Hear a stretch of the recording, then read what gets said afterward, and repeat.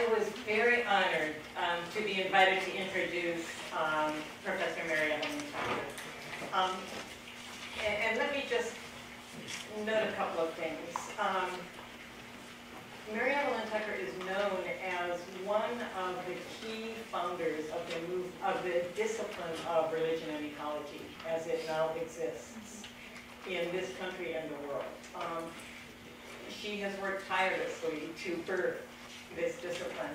Um, one of the major um, moments or birthing moments was just over 20 years ago when she and John Grim, her husband, created a series of conferences at Harvard.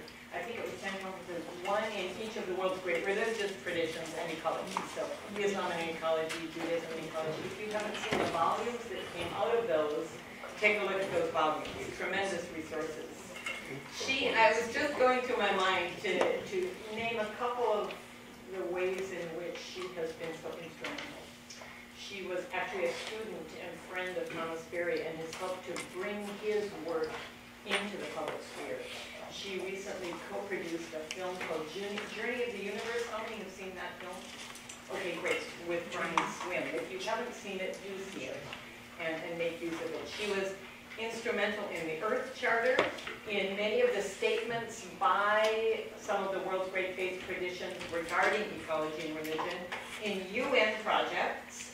Um, it, she has been involved in the ecological civilization movement in China um, that is very much being adopted by the Ministry of the, of the Environment in China. And I won't go through many, of, many other things, but I will say two things that mean a lot to me. And one is that in recent years, she has exercised influence in moving religion and ecology as a discipline to be much more sensitive to the vital issues of race, class, gender justice. That is significant. And then finally, I would just say that she is also a tremendously generous and gracious and non-ego-centered uh, nurturer of other people and their powers. And I have seen that time and again over the years. And for that, I am most grateful. So it is with great, um, it is with, with joy that, that I find her here, and, and I ask you to, with real um, gratitude, welcome this woman in our midst.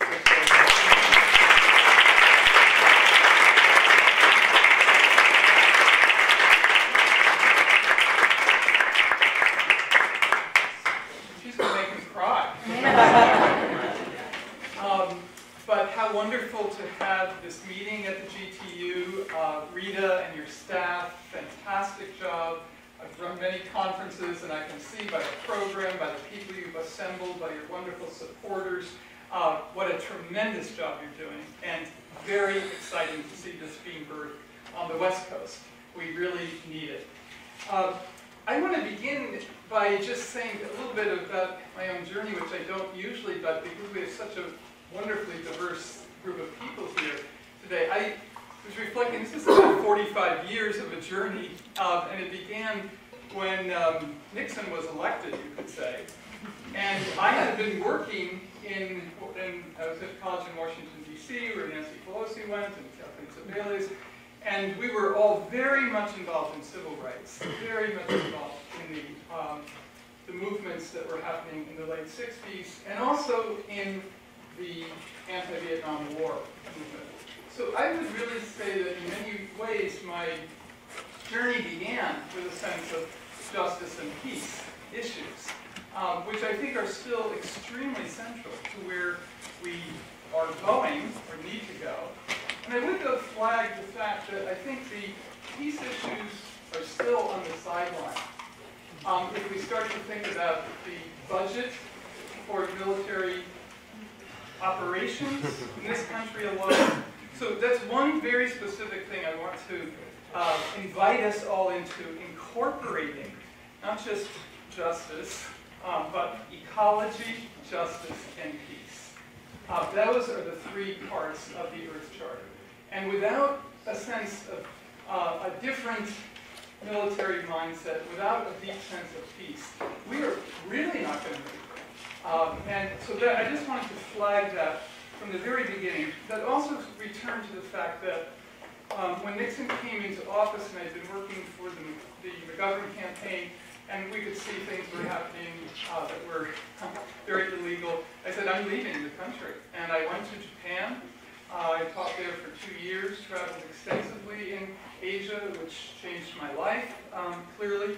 But it was also a sense in Japan and in Asia of a cosmic sensibility that really opened up through the traditions, through the cultures, through the landscapes, and so on. And I want to also reinsert that into our discussions and our thinking. Because sometimes people say, oh, cosmology, it's way up there in the air. It's not. It's right here in a beautiful walk I just took this morning on the Berkeley campus with this splendid redwood country. This is really redwood country. You know, they light up deep time in us. They light up wonder, which brings us towards gratitude, which is Kusumika was just saying, bring us toward transformation and action. See, that's what the cosmological approach can do. And I'm going to say a little bit more about that. And we live in a living universe. It's right here, in cities, in countryside.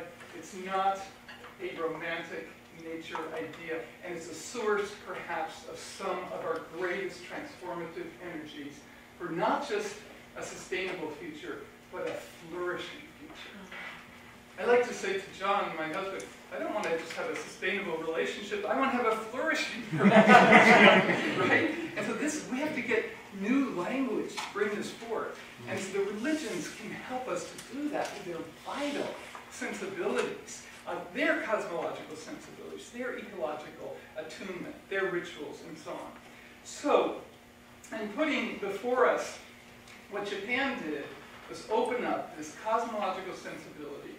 Um, certainly Teilhard de Chardin did as well, and Thomas Berry. But it also opened up this tremendous sense of earth concern, of these amazing landscapes. Two-thirds of the world's people are in Asia.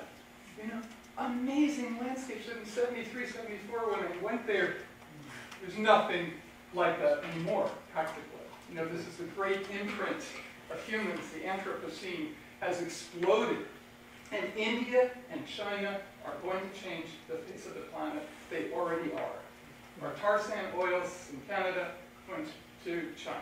Uh, the absolute transformation of a billion plus people looking for the fruits of modernity. What is justice on that scale? That is a huge question. But those of us in Asian studies at Columbia, where I studied tremendous uh, scholars of Asian studies, but we could all see this horizon beginning to foreshorten the possibilities of planetary life as this, these two great cultures and civilizations wanted to participate in their own part of modernity. So that's justice on a planetary scale, right? Um, and then I think then this cosmic earth human sensibility that we need to line up. That's what the tradition of Confucianism does, that I've studied for many, many years, saying that the human completes the cosmic and earth processes. So that's a bit of what I'm offering with these comments today, that we need this broader context for sustainability. So we need this flourishing of life, our own, but the whole Earth community. And that term, even Earth community, is one that Thomas Berry offered to say, we're in reciprocal relations with ecosystems, with species, with other people, with, with Oakland, with Harlem, etc. The Earth community brings us all together. And a very powerful image of our collectivity. And we are beginning to get, in many forms, the expression of this. Certainly the most rich one, I would say, is the Pope's encyclical, Laudato Si. Begins with praise be. You see, that's the instinct of humans. Praise, joy, thanksgiving, gratitude. Um, and he's saying if we light that up, we'll have, what he's speaking of, integral ecology, people and the planet, eco-justice. That's an expression of a movement that's been more than 20 years with many of you in this room. We have a book series from Orbis Press, Ecology and Justice. And at AAR this year, we're going to do a workshop to elevate this kind of discussion. But we have it moving from the uh, Parliament of World Religions, because Samhita has been a tremendous leader in that area. And the next Parliament in Toronto will also help to integrate these discussions that we're having with the different world religions into justice and peace, I hope. Um, and I would also just say the Earth Charter that was mentioned by Cynthia is an expression of where we need to go. Namely, not a declaration of independence, but a declaration of interdependence. Beginning with, we're part of a vast evolving universe. That's the beginning of the Earth Charter. Earth itself is alive with a myriad community of life.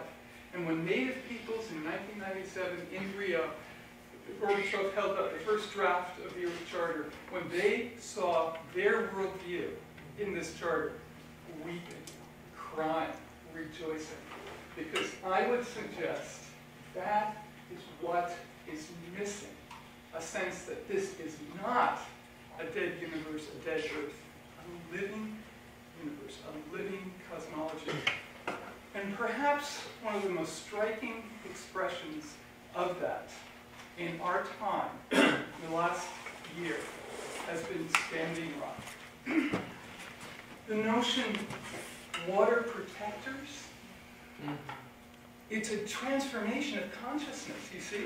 It's, it is a sense that that began with prayer, with fire services, with the next generation, really beginning that whole process. Unbelievable spiritual, ecological, and cosmological process. Essentially, this is a water planet. That's a cosmological reality. Of course, we know there's probably water on other planets, and that's fine. But this is what defines this planet. You see?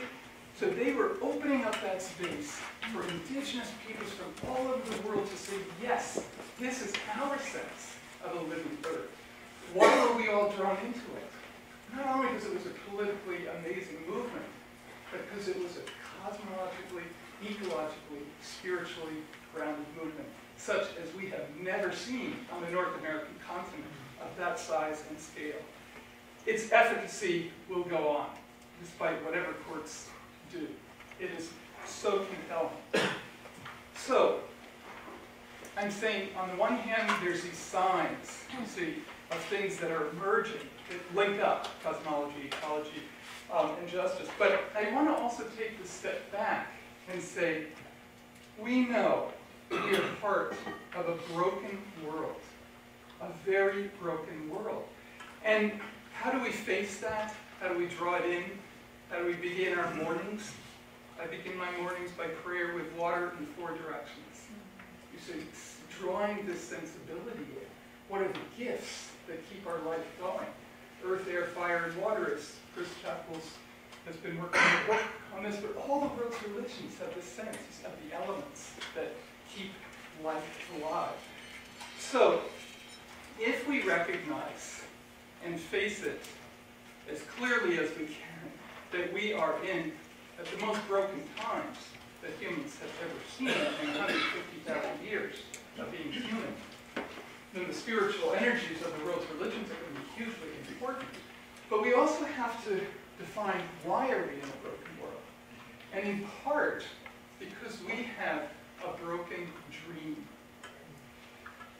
That is a dream that, for better or for worse, was birthed on this North American continent, an American dream that said prosperity and progress were one, that happiness was defined by material goods. That is a dream that has exploded around the world to India and China so on. Dubai, the Emirates, if you've ever been there, seven inches of water a year, golf courses, pools, the most incredible consumption you can imagine, and people from all over Asia in horrible living conditions, building these hotels, restaurants, etc. talk about an example of inequity and a dream gone mad, truly mad. So we've got to highlight why we're in this mess. It's not just in Washington, D.C., which exemplifies it on a grand scale, right? And people actually grasping for the last straws of this American dream of rabid materialism. Absolutely rabid. It's all over the world. That's what our story has given people. And the power of story is incredible. So, happiness and material self-sufficiency, that's all about sustainable development. What the Rio Summit was, how do we reconcile environment, economic development? That's fine. That's in a model, okay. But when it explodes into wealth with no limits, economic growth with no sense of moderation, we're in a big, big mess. And the only, not only, but the resources of the different world's religions as an antidote to that are perhaps one of the most powerful energy sources we have in a period that's looking for sustainable energy. We have sustainable energy. We have solar. The Chinese are way ahead. The Indians are way ahead on new technologies. Germany is way ahead. We have a slew of alternative energies, but we do not have the spiritual, transformative energies of sustainability. And they will come from the religions or the spiritual, whether spiritual, religious, etc., not exclusively from secular and humanistic perspectives too, but it's an energy we need to yeast into this movement of sustainability because it is on the perimeter. Every international movement is about schemes. Would you love the term? Schemes. How are we going to regulate carbon emission? So it's a mechanistic model. It's a policy model that's very reductionistic. And you can have side events at the top conferences of religious leaders and so on. So it's really not central. So our challenge is five years from now, 10 years from now, 20 years from now, we need to have this yeasted into the center of these discussions. So that we're not just at GTU or Yale or, or the New School, etc. And I think the New School's recent conference on the Himalaya region was a great example of this intersection. So it's happening. I'm, I'm not pessimistic, but I'm just challenging all of us. And that challenge is how do we get a language that is going to translate out of this room into policy groups, uh, NGO groups who've been working at this for a long, long time. And they're like, oh, religious communities? Yeah, we've been at this for 25 years. and all of a sudden, religions come in with rhetoric, with a sense of their own importance, we've got to have humility as we join the rest of the Earth community in these efforts. But it is a, it's a missing link, the spiritual, ecological sensibility in a broken world with a broken dream. Have something to offer if we can do it with clarity, with humility, with synergy, uh, with what's already there. So, this new dream, um, not exclusively one, not maybe exclusively new, but people are driven by dreams. They are driven by stories. Every time someone told a story up here, everyone was listening. so interesting. Um, but how are we going to evoke a sensibility that in the Anthropocene, we are going through an hourglass of mass extinction of species and cultures and language, how are we going to go through what E.O. Wilson describes as an hourglass of extinction? Get up each morning and say, we have something to contribute. We have to confront not only the dream, the, the problem of a dream gone awry, the source of that dream gone awry, if we take it down one more level, materialism. Now we can say materialism over and over again, and having good stuff and a house and so on. Again, there's sufficiency and there's excess. We need to mm. find these two types of things. But one of the suggestions um, that I'm offering this morning is materialism can be redefined, and there's all kinds of movements trying to do that. One is religion and ecology, in fact. There's others coming out of philosophy, new materialisms, vital matter. Um, and then there's things coming out of, of ecologists and anthropologists, how forests think. Do glaciers listen? Do, what do plants teach us? And by this range of movements, I'm suggesting that we're penetrating to the ground level of the cause of this dream gone mad. Namely, materialism is not just stuff.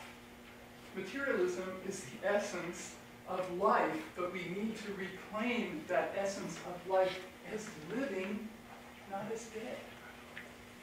As living, not as dead. This is the power of indigenous peoples. I'm not idealizing them either, but it's the power of an indigenous worldview that has held that sensibility for eons, which means most people on this planet have lived with that sense of a living cosmology before modernity. So we recover, we revitalize, we bring in the holistic sciences and ecology, we create. It's a tremendous possibility here, you see, but we have to identify. If we're going to say, this is all dead, it's, it's a dead end. So, um, and let me give you the most striking example of this, and each one of you would have your own. The sense of a dead matter means the universe is basically composed of random, uh, purposeless processes that amount to a mechanism that we can understand by our science and so on, by our laws. But the whole thing adds up to randomness, purposelessness. We have got to take this in because that is the secular religion our students are given. Why are they schizophrenic? Why are they in despair? Why are people turning to drugs and alcohol to soothe the pain of living in a meaningless universe? Viktor Frankl got it right. Man searched for meaning even in the camps. In the Holocaust days, the most powerful drive is the search for meaning and purpose and connection. So, here's the story. We finish Journey of the Universe. It goes on PBS, which is sort of amazing when you consider this is about evolution, folks. it's there for three years, a little under the radar screen. Everything we're trying to do is like ninja.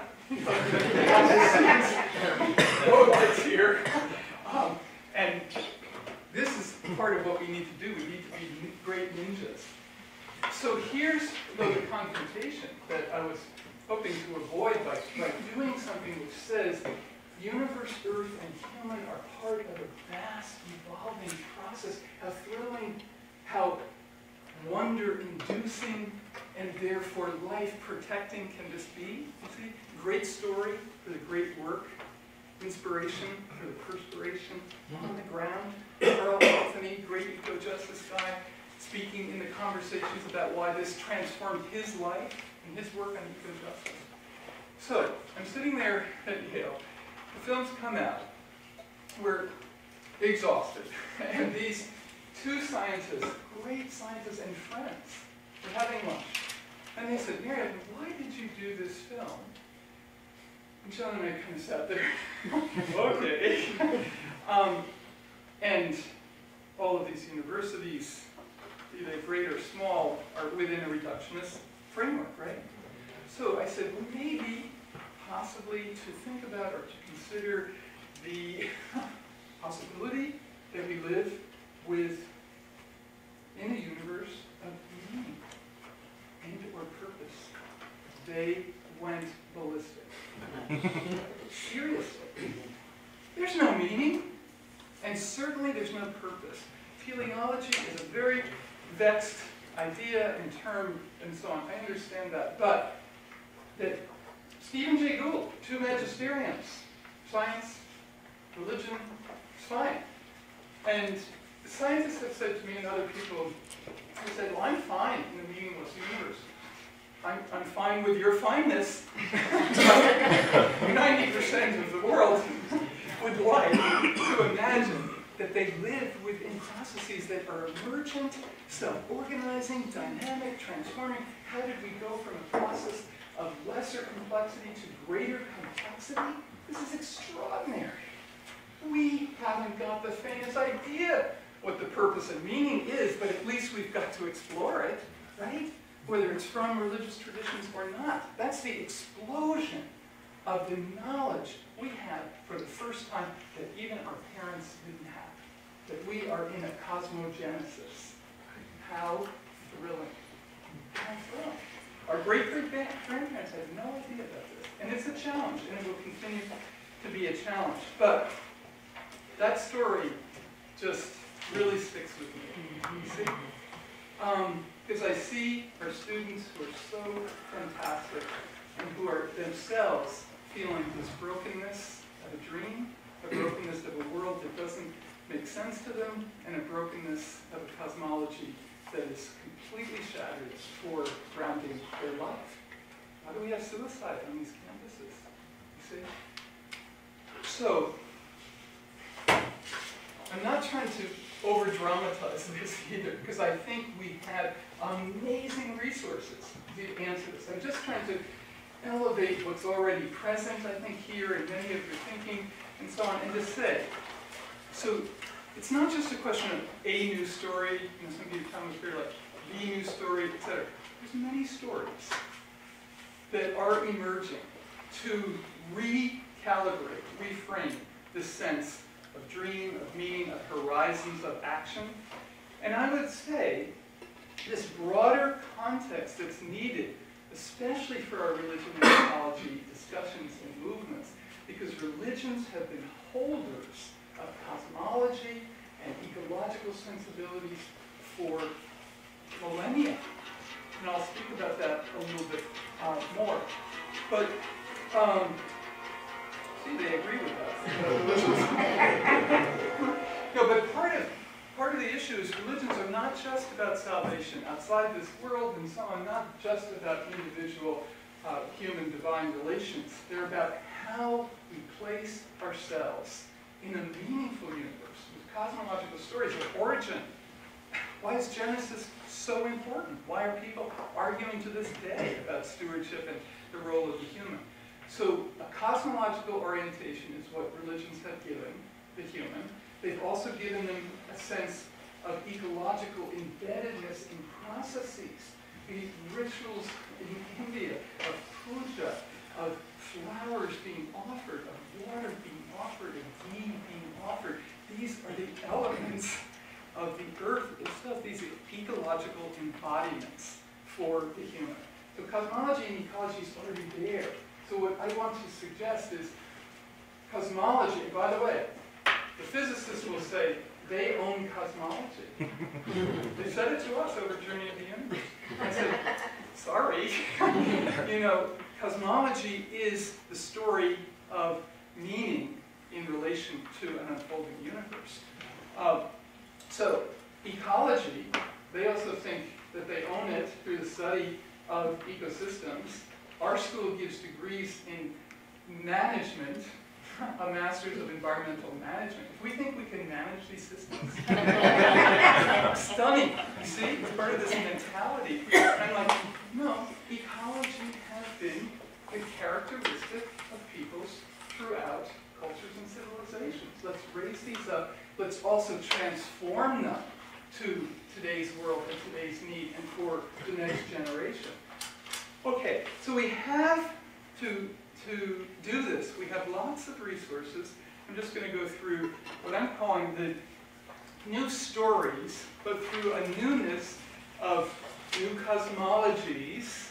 I'm just going to read them and then we'll go through new science, new ecology, new economics, new politics, new ethics, and new human identity. why are we absolutely obsessed with human identity right now? Identity politics, hmm. right? Paying attention to that ground beat, that drum beat. Why is it so important?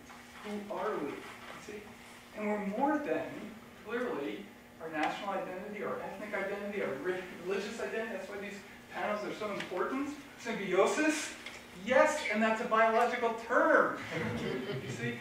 So, we have these resources to say we can expand who we are. The microcosm, macrocosm identities, again, in all the world's religions, the Atman, Brahman relationship, small self, the large self, that's the invitation here. So we don't collapse into a small self that's so small, all we can think of doing is going to the mall. I think that rhymes. um, so the new cosmology then is a sense that we're moving from dead matter to vital matter. That's why what I've studied from the Chinese tradition is qi. Everything is matter energy. Everything. From the galactic star levels to the earth levels to the human. By the way, Tai Chi Qigong, we're bringing this energy in, the healing powers of the universe. You see, that's qi. So this notion of vital matter needs to come into our thinking, our sensibilities, our work, um, academic and beyond. New science. This is, if you go into the bookstores, this is already there. From reductionism to holism. Um, a range of people writing about this, which is, I think, very exciting.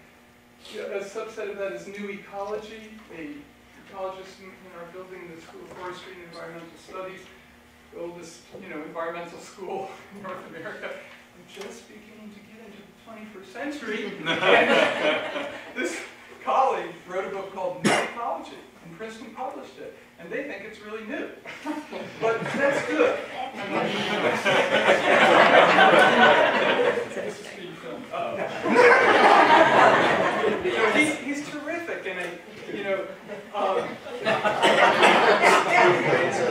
I gave him, you know, I read the book and so on and so forth. He's inspired by Aldo Leopold and the land ethic and, and whatnot. And then he goes back into this mechanistic language, and almost like we've got to have a war for nature and things like. Like, us? Let's get the metaphors right. See, metaphors are what change us. Um, so this new ecology is from mechanism to system science, um, from the dynamic to the dynamics of ecosystem. So ecology is being redefined. It's not just mechanistic. Um, and integrated ecology is what the Pope is, is speaking about. We've got new economics, um, from only market capitalism to ecological economics. The founder of ecological economics teaches at Berkeley for 40 years. Dick Norgaard, bring him over, discuss this, because he is so convinced that the problem is equity. You see, right in the heart of, of what many of we are trying to do too with eco-justice. Um, he's tremendous, but the environment is not an externality for cost accounting. Is at the basis of everything. So we've got the triple bottom line now, economics and human and so on, but the environment, cost accounting, it's happening. It's GRI at the UN, Ceres, and, and so on and so forth, it's happening. So um, equality is being redefined in this sense of ecological economics, the inclusion of the environment and people. A new politics, um, from liberal de- uh, democracy of hyper-individualism and individual freedom, which is the legacy of the Enlightenment mentality, which is, again, something we've given around the world. How can we think of ourselves as hyper-isolated individuals? It is part of this failed American dream. Why I love Confucianism. The individual is always in relationship. The highest virtue is a human in two communities. Everything we've tried to do with many of you in and with religion and culture is community building. You see? So, um, so from hyper individualism to communitarian politics of inclusivity. socialism is actually back on the screen. Because there's one person who had the courage to say it, Bernie. You know, Northern Europe has thought through these things a long time. The Scandinavian countries know what equity is, know what dignity is, know the elderly must be taken care of, know the sick must be taken care of, know the poor must be taken care of. So, so fraternity is being redefined. See, equality and fraternity um, needs to be redefined and also beyond the human to include the earth community. Um, in fact, Lynn White's was pointing towards biodemocracy, right? Biodemocracy. And that is something that we need to think about. Matt Riley is, is publishing his book, um, hopefully, on that extension of Lynn White's critique to his positive uh, uh, sensibility. So from independence to interdependence, we are moving in that direction. With, and conflict is part of it, not minimizing that. I have landed in India in a conference in New Delhi with the mosque erupting um, and you know police forces through the hotels and so on and so forth. In Gujarat and Ahmedabad, and, and we understand the complexity of the world's religions, as was just demonstrated. But there are Gandhis amidst us. There are Martin Luther Kings amidst us. And the human will move forward with this tremendous sense of nonviolence and peace and equity and the kind of work that is being done on interreligious dialogue here in this room and beyond. So a new ethics is clearly needed. I am so, we talk all the time, it's anthropocentric, it's anthropocentric, and that's true. It's astounding, you see how inadequate our theology, religions, philosophies are for the sense of interdependence. So I'm sitting in a room, in a classroom, we're teaching law, environment, and religion. We have eight students from each of these great schools uh, um, at Yale. And we're bringing Peter Raven, head of the Missouri Botanical Garden, who's a tremendous biodiversity guy, right? And the student who's preparing uh, questions for him says, why should I care about biodiversity? Why should I care if species go extinct? Well, I almost lost them. I really did. And my law colleague was like, whoa. but I, I said the same thing. You know, I just said, here's this institution, here's Yale, and has no way of answering that question adequately. So it's a fair question to ask, but we've got to get to the next stages of this. Think about it. Why should we value species? Well, intrinsic value, utilitarian value, you know, we're going to get medicine from the rainforests of the Amazon, et cetera.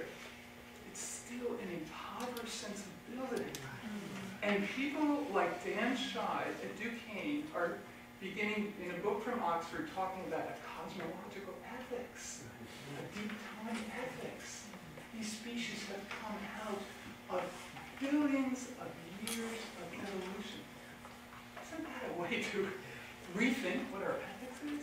So biodiversity, how do we value that? Cultural diversity, how do we value that at a moment when both of these are going extinct? Cultures and species. Um, so the new identity for humans then is redefining liberty, but equality, fraternity, liberty. These are all the legacies of the Enlightenment. We've got to redefine them. It's not to say they're not, they haven't brought us forward, but they're inadequate to where we need to go. Inadequate to where we need to go. So that from anthropocentric to anthropocosmic, again, this is what these traditions have given us. The Chinese tradition, heaven, earth, and human, and human completes, complements these great cosmological powers. And so if we're talking about alignment of the human with the ecological pulse of the universe, we're talking about irrigation systems that are measured adequately by the water supply. The Chinese tried to do this over time, and I have seen 2,000-year-old water systems that are still in place in China. I lived in Japan for three years. Irrigation systems are the lifeblood of communities. And they have to be sustainable because the community downstream is going to get your waste if you don't. It's a very small island, you see? And Confucianism is all about an agricultural society so the communities work. Talk about sustainable community models. And that was built into Confucian humane government, governance. So this sense then of an anthropocosmic basis for our thinking and our action, for reimagining what sustainable communities are. Um, so reshaping the dream is part of our task in religion and ecology. It's not only translating texts and imagining if they relate to our present circumstances, that's part of it, but it's something more, and those of us who've been blessed to study these traditions, go to these countries, and or do it right here in our midst, in Oakland or wherever. It's like, what is the fire that's going to take that to the next stage? And it's a fire of the, the livingness of these Earth systems, the livingness of the planet. Um, so redefining and expanding the categories, the ideas, terms in this field. And I like to, to think of it as, you know, a field within academia and a force in the larger society. That force is absolutely unstoppable. In the Climate March 2014, 10,000 of the 400,000 marchers were from religious communities. And here we are in Central Park West, and the religious communities, we, I was with the Yale students, no other faculty came because science is very objective and you don't advocate. That's the environment we're working in, folks. Have some sympathy. no, but it's, this is part of the mindset, you see. But when all of these religious leaders and lay people and so on came in from one of the side streets, the whole march stopped. It was amazing. It was the first time that the religious communities were really present at this climate change march. And Todd Stearns, who was our major uh, negotiator for the U.S. down at the UN, he teaches at Yale too, he says to us a week later, he says, everyone at the UN was watching this mark, march and also taking note that the religious community was part of it. It's a watershed. Um, and it's definitely unstoppable. That's why Standing Rock's unstoppable. But church communities, mosques, uh, temples, and so on, we can do this. Reforestation in southern India is happening through a temple there. The Chipko movement started, as you know, in the northern Himalayas with women breathing in, talking about breath, the life force, the Shakti, and hugging the trees, which I did this morning with redwoods. but hugging the trees for the protection of the life of those trees and the water that comes through those mountains. This is the life force that we need to continually regenerate, both for the field and the force. Um, so, let me just say, um, the intersection then of cosmology and ecology to say it's not just part of the sciences, it's part of the world's religions, identifying it, again, as this Himalaya conference did so beautifully, living landscapes. People in the Himalaya region forever have understood mindscape and landscape are continually interacting. And I offer the word resonance as part of how people have sustained themselves in place with ecosystems that are alive. The mountains in that region, was Mount Tam in this region, so mm-hmm. sacred that Gary Snyder did a mandala pilgrimage around it. Right? The imprinting is so deep, our need to relate, that resonance. Um, even at this conference in the Himalaya region, of course, it's not just the external world, it's the home. And people like Sara Shneiderman working on how the home is imprinted with sense of direction and purpose. And cosmology and ecology come right down to that level. So we can talk about agricultural festivals, ritual prayer, pilgrimage. Oh, sorry. No. Thank you. So sorry. Okay. I am going to end then with one story. Thank you. So sorry. Um, last summer, Ecological Society of America in Baltimore, 10,000 scientists there two days on ecology and religion, wonderful panels. The president, vice, the past president and future president endorsed the papal encyclical to say integral ecology is where we need to go. These are the best ecologists in the world. A watershed. You see, that our movement is intersecting with science. They come out on the street, ready to go, um, the little holiday inn where I was staying. And this gentleman, African-American gentleman, is pouring water into the trees that are in this very urban, sparse environment. I said to, I sort of walked up and I said, no chemicals in that, are there? And he said, no, no, just water, just water. And I'm like, oh, that's so great. And he says, these trees are my friends. And he says, hmm. I, these are what I care for each day. He works for the hotel. The trees are for, for his own friendship. He said one of them was about to die over the summer, but someone told him just keep watering it, let it go, let it continue. And he said, this one I call hope. Oh, wow, That's what we need, and may we all have that kind of hope. Thank you.